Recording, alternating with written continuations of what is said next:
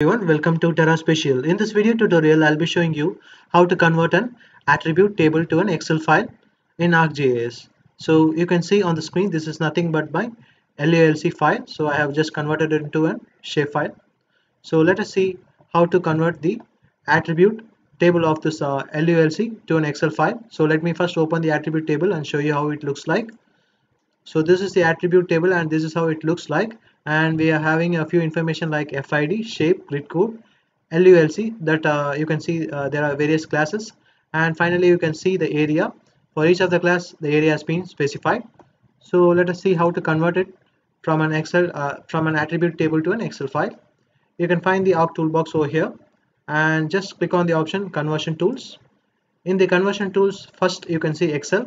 So here we are going to select the option table to Excel just double click on the on this tool.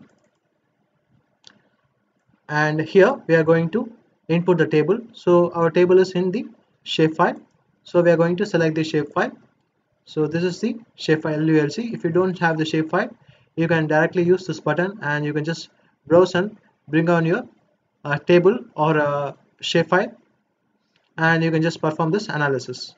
So finally we are going to give the output location so let me uh, use this uh, button and let me choose the output location. So let me create a folder for it and let me type in LULC so here I'm going to save it.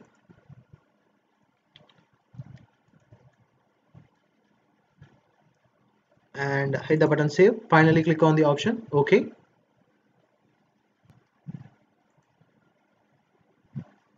so you can see here the result has been come out. So let me check out in the file manager. So we have created a folder called as LULC so under that uh, uh, inside that you can see the result file. Let me open the file.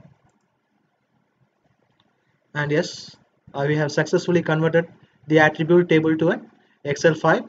So you can see the information which are being available the attribute table and here both are same and if you have any doubts in this you can just ask me in the comment section. I'll be answering to your questions. Thanks for watching TerraSpatial please do give an like and please do subscribe the channel. Thanks everyone